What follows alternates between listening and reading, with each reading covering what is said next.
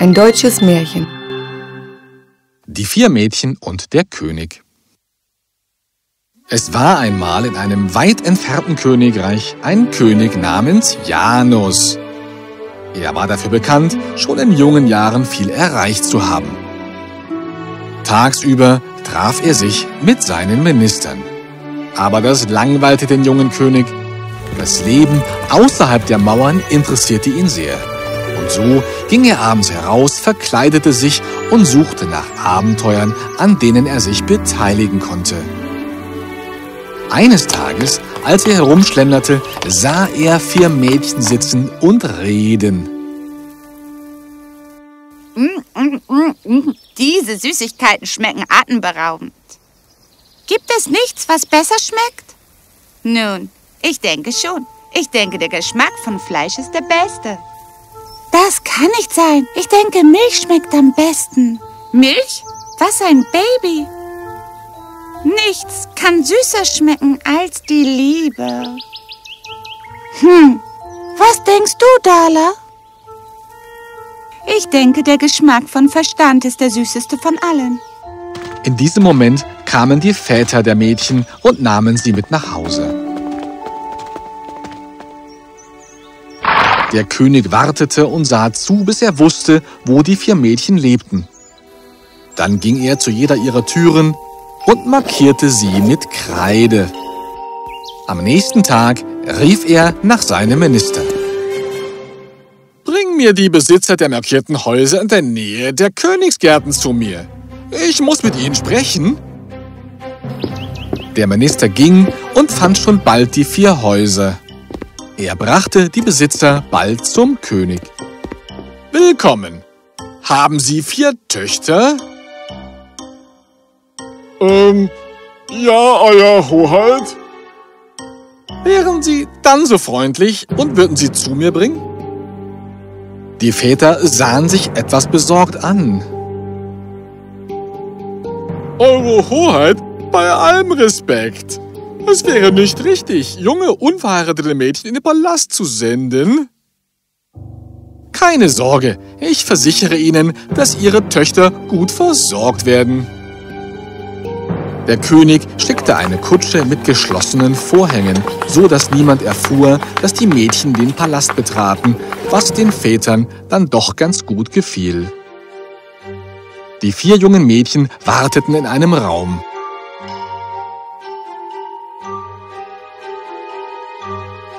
Sie wurden nacheinander hereingerufen.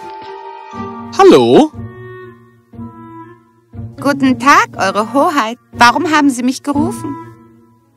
Nun, ich habe dich gestern Abend mit deinen Freunden sprechen hören. Über was habt ihr geredet? Oh, nichts über Sie, mein König. das weiß ich. Hab keine Angst. Du hast etwas über Fleisch gesagt. Oh, ich habe nur gesagt, dass der Geschmack von Fleisch der beste ist. Äh, Verzeihung, Eure Hoheit.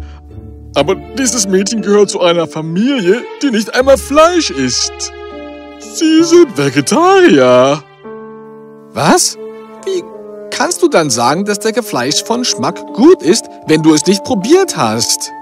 Nun, es stimmt, in meiner Familie ist keiner Fleisch. Aber ich habe gesehen, dass wenn Fleisch gekauft wird, es vollständig verwendet wird und nichts verschwendet wird. Sogar der Knochen wird von den Hunden sauber gekaut. Danach benutzen die Krähen es, was später von den Ameisen verzehrt wird. König Janos war beeindruckt von der Antwort des jungen Mädchens. Es ist wahr, was du sagst. Fleisch hat einen sehr leckeren Geschmack. Hier ist eine Belohnung für deine Antwort. Und so ging das Mädchen glücklich zurück. Das zweite Mädchen wurde gerufen und sie kam langsam und schüchtern herein. Hallo, mein Kind. Hallo, Eure Hoheit. Warum wurde ich gerufen? Gestern Abend, als du deinen Freunden sagtest, dass der Geschmack von Milch der beste ist. Was meintest du da? Oh, mein Herr, Leute verschlingen alle Dinge, die aus Milch gemacht sind, wie Butter, Cremes und Süßigkeiten. Es sind fantastische Köstlichkeiten. Der Geschmack ist in der Tat der beste. Obwohl, ich ihn noch nie probiert habe. Was? Nun, Sie sehen, ich bin allergisch gegen Milchprodukte. Ich sage das nur, was mir aufgefallen ist. Der König war sehr überrascht. das habe ich nicht kommen sehen. Aber ja, Milch und all die daraus hergestellten Dinge schmecken wirklich fantastisch. Der König war mit ihrer Antwort sehr zufrieden und schickte sie mit einem Geschenk weg. Das dritte Mädchen wurde in den Raum gerufen und sie kam glücklich herein. Hallo, Eure Hoheit.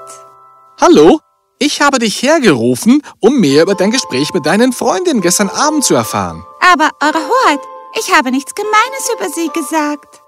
Klar, ich weiß, das hast du nicht getan. Ich meinte nur, ich hätte dich über den Geschmack von Liebe sprechen hören. Oh, das. Nun ja, ich habe gesagt, dass der Geschmack der Liebe der süßeste ist. Das finde ich ziemlich lustig. Wie kommst du da drauf? Nun, meine Eltern finden immer Glück in der Liebe und des anderen. Einmal sah ich ein Reh, die mit ihren Kids kuschelte. Da war ich mir wirklich sicher, Liebe muss wirklich sehr süß sein. Was für eine schöne Antwort.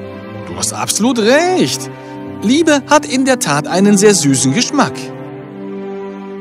Der König gab ihr ein Geschenk und sie ging sehr zufrieden weg. Schließlich war Darla an der Reihe. Guten Tag, Eure Hoheit. Sie haben nach mir gerufen. Guten Tag auch an dich. Ich habe dich gerufen, weil ich wissen wollte, was du gestern Abend mit deinen Freundinnen besprochen hast. Es war nichts Schlechtes über Sie. Das kann ich Ihnen versichern. Das weiß ich schon. Aber ich wollte wissen, was du meintest, als du sagtest, der Geschmack des Verstandes ist der beste. Wissen Sie denn nicht? Der Geschmack des Verstandes ist vorzüglich. Besonders, wenn er probiert wird, wenn jemand lügt. Na, dann würde niemand diesen Geschmack während eines Gespräches mit mir verspüren. Ich erzähle niemals Lügen. ist das wirklich so? Ich denke, selbst eine Person, die noch nie gelogen hat, kann dies definitiv eines Tages tun. Unterstellst du mir, deinem König, dass ich eines Tages lügen werde? Eure Hoheit, geben Sie mir 400 Goldmünzen und sechs Monate und ich werde Ihnen beweisen, dass Sie es werden. Der König war sehr fasziniert, gab ihr, was sie wollte, und wartete geduldig die nächsten sechs Monate. Nachdem die vergangen waren, rief der König Darla in seinen Palast. Erinnerst du dich noch an dein Versprechen von vor sechs Monaten? Das tue ich. Bitte kommen Sie in mein Haus und ich werde Ihnen etwas sehr Verblüffendes zeigen. Der König war neugierig und ging mit seinen Ministern zu Dalas Haus.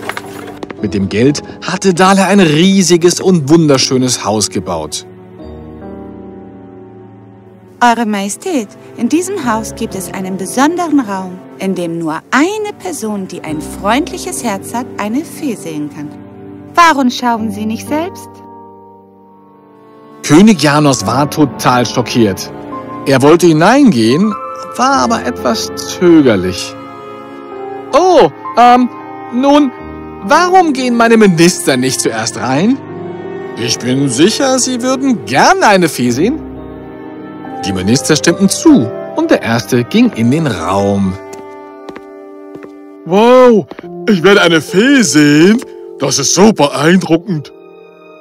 Aber nach einiger Zeit sah der Minister niemanden und so begann er sich bald schon Sorgen zu machen. Wie kann ich bloß rausgehen und ihnen sagen, dass ich keine Fee gesehen habe? Sie werden mich für eine böse Seele halten. Also ging der Minister aus dem Zimmer und begann alle zu belügen. Und? Haben Sie die Fee gesehen? Das habe ich, aber ich war zu nervös, um mit ihr zu sprechen. Nun gut, jetzt bin ich an der Reihe. Und so ging der zweite Minister hinein. Jeder weiß, dass ich der Netteste bin, den es gibt. Ich werde die Fee sicher sehen. Aber auch dieses Mal, als bereits Minuten vergangen waren, erschien dem unglücklichen Minister niemand. Als er das Zimmer verließ, waren sowohl der König als auch der erste Minister sehr neugierig. Und? Haben Sie die Fee auch gesehen? Was, was haben Sie ähm, von ihr gehalten? Oh, oh, ja, es war eine interessante Begegnung. Jetzt war der King sehr zuversichtlich, die Fee zu sehen. Er ging ins Zimmer und wartete dort geduldig. Ich bin ein sehr freundlicher König zu meinen Untertanen. Sicher werde ich die Fee sehen können. Er sah sich eifrig um und wartete darauf, seine Augen auf das magische Wesen zu richten. Aber als keine Fee auftauchte, fühlte er sich unwohl. Ich denke, es sollte nicht zu lange dauern. Was ist, wenn ich kein freundlicher König bin? Niemand soll das erfahren. Darla wartete gespannt auf den König und sie war begeistert, als sie ihn herauskommen sah. Nun, haben Sie die Fee gesehen? Ich, ich sah sie. Es war wirklich ein unglaubliches Gefühl, mit einer Fee sprechen zu können. Also, Sie haben sie tatsächlich gesehen. Ja, und auch mit ihr gesprochen? Wirklich? Äh, ja, wirklich? Mein König, Sie haben gerade gelogen, oder? Hä? Was meinst du? Ich habe nicht gelogen. Und dann erinnert er sich an Darlas Herausforderung, dass er eines Tages lügen würde. Der König lachte lautstark und gestand, dass er keine Fee gesehen hatte. Die beiden Minister waren schockiert, gestanden aber auch dasselbe. Der König lächelte Darla an. Du bist ein schlaues Köpfchen, mir so einen Streich zu spielen. Es ist ein menschlicher Instinkt, in Schwierigkeiten zu lügen, wenn man sich in einer unangenehmen Situation befindet. Das heißt aber nicht, dass Sie es sollten. Ich weiß. Ich werde nie wieder lügen, Darla. Ich wäre so glücklich, wenn du meine Frau wärst und mir hilfst, mein Königreich zu führen. Sie nahm seinen Antrag gern an. Auch sie hatte sich in den lustigen König Janus verliebt und die beiden waren bald verheiratet. Und so erkannte der König, dass der Geschmack des Verstandes stärker war als jede Lüge. Er traf die sehr weise Entscheidung, nie wieder zu lügen. Letztlich sollte eine Lüge, egal wie groß oder klein, niemals gesagt werden.